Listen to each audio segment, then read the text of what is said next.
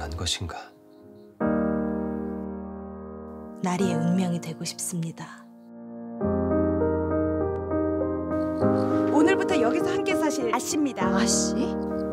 베가라 하옵니다. 세상에 버릴 사람 없다는 거 부인께서도 잘 아시잖소. 임신한 사실도 확인하셨고요. 박감사고는 어떤 관계입니까? 나리의 조카입니다.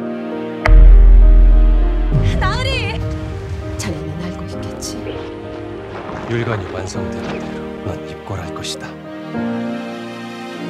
평화는 예약이 될 수가 없사옵니다. 제후의 나라에서 아무데도 기준을 정할 수 없는 법입니다. 제후의 나라가 아니라 내 나라 조선이요. 수백 개의 조가 방 안을 가득 채 불꽃이 피웠어요. 바로 그거다. 황밀. 자식이 없으면 양자를 드리지 않습니까?